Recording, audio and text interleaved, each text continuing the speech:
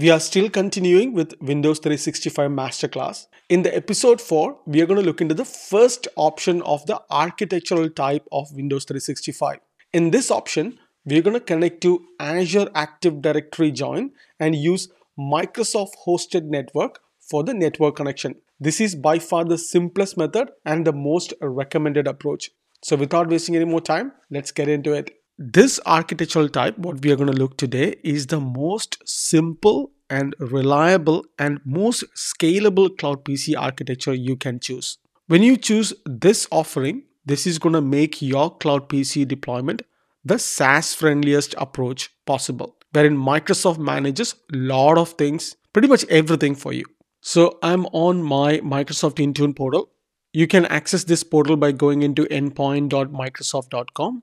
Because we are starting from scratch, I'm going to create a new user for this configuration or I'm gonna um, first let's create a group for this particular configuration. Go to groups and click on create a new group. Group type, I'm gonna retain security. Give a name for the group. I'm gonna name this group Windows 365 Azure AD Join plus Microsoft Hosted Network Architectural User Group. I'm gonna give a description to the group. So this clearly says that Windows 365 option one, Azure AD plus Microsoft Hosted Network Architecture type. You don't need to um, enable this option to add Azure AD roles.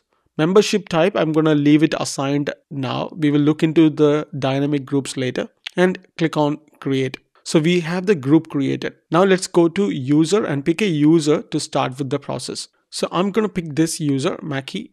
Let's see if I assigned a license for this user. Go to licenses tab, click on assignments and I don't have Windows 365 license assigned for this user.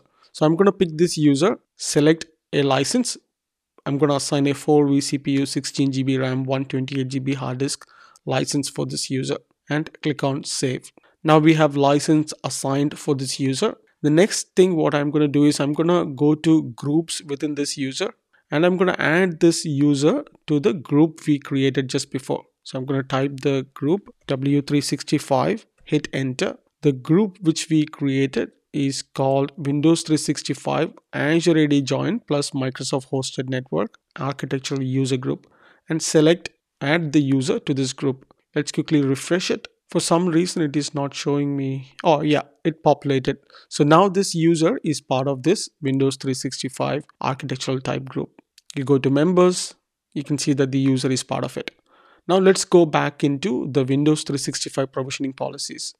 Go to devices on the right hand side under device onboarding click on cloud pc creation and because this is the simplest method you don't have to worry about the azure network connection or custom images all you have to do is create a provisioning policy for this method so click on provisioning policy I do have a few provisioning policies available. You don't have to worry about it. Just ignore it. We're going to create a brand new provisioning policy. Click on create a new provisioning policy. Give a name I'm going to give a name called Windows 365 option 1 Azure AD plus Microsoft hosted network architecture provisioning policy. Again, quite mouthful, so you don't have to name it like this. Just for sake of completion and because I'm going to do two more other episodes on different architecture, this seems to be the right approach. And give a description, provide a description which clearly states that this is going to use the option 1. Under license type, Pick enterprise license. That is what we have assigned. We will look into frontline later. Under join type, again, this because this is the simplest method for you as an admin to start, all you have to do is select Azure AD join. And under network, we are going to not look into any other option. Click on Microsoft hosted network. So these are the two decisions you're going to make. Azure AD join and Microsoft hosted network. Under geography, this is where you would pick a region and geography which is closest to the user. So let's assume you are assigning this license to a user based in Germany. You would pick Germany because you don't want high latency for the user to access the cloud PC. Since I'm going to use it in New Zealand, I'm going to pick Australia because that is the closest region available for me at the moment.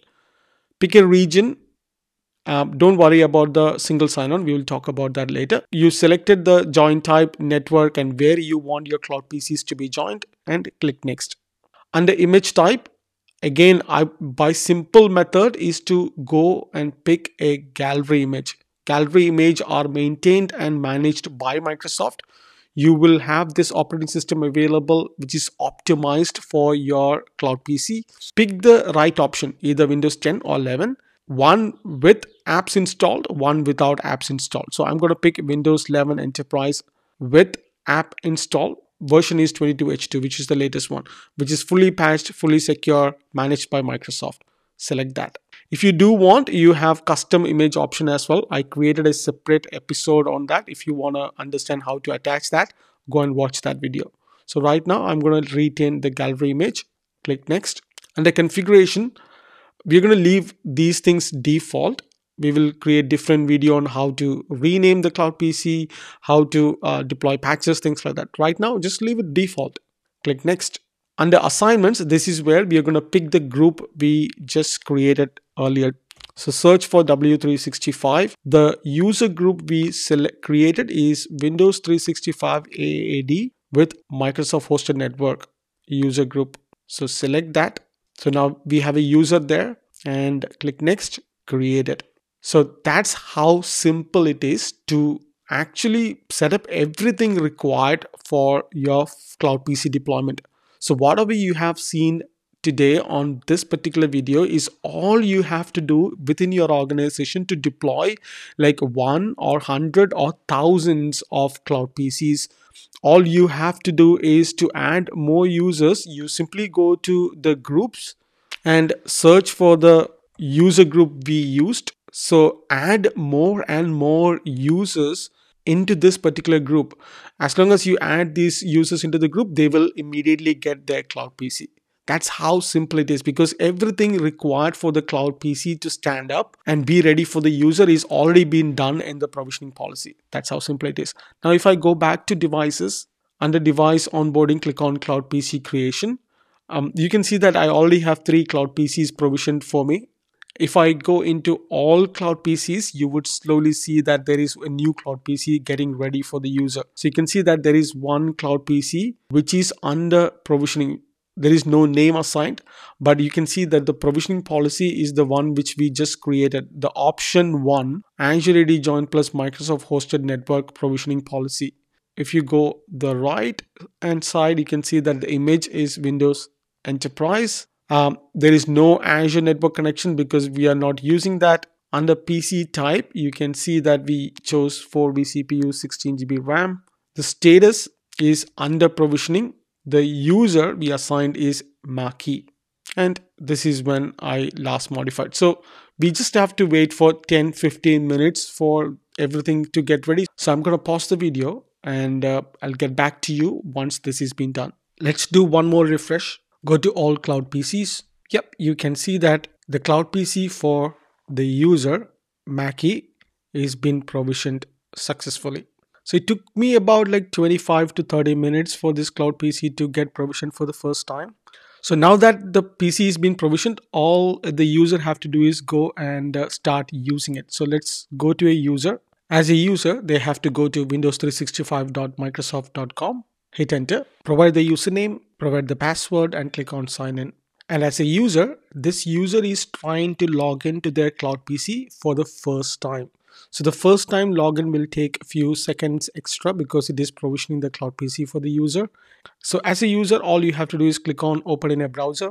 You can see that this user is assigned with 4 vCPU, 16 GB RAM, 128 GB hard disk cloud PC. So this is the cloud PC we assigned. If you want to download any app, I've created a separate video on how to do that. So download a respective app on the platform which you are using and then you can access it via that. I prefer browser because it's quite simple and straightforward and click on sign in and provide the password again and sign in. And now it is logging in as this user to their cloud PC for the first time. Alright, so the user is logged in for the first time into this cloud PC and from this point onwards they can use this cloud PC as the regular PC. So if I go back to the settings, click on about, you can see that this device is Cloud PC, it has the 16 GB RAM 4 vCPU. The operating system is Windows 11 Enterprise 22H2. And to check the speed, I'm going to go to a speed test website and just run the speed test to check how much speed or bandwidth you're getting within this cloud PC. Last time when I checked, it was like 1.5. Now it's like even even more. Oh my god, it's closer to 3 GB upload speed. Sorry, download speed right now. This is mind-boggling. So you get 3 GB download speed and 1.8 GB upload speed within your cloud PC. This is insane. All right, so that's the end of the first architectural type demonstration. So in this, just to quickly recap, what we have gone through is so this is the first architectural option we used azure ad join for joining this device and microsoft hosted network for the network in the next episode we will look into the second architectural option i will see you on the next one. Take care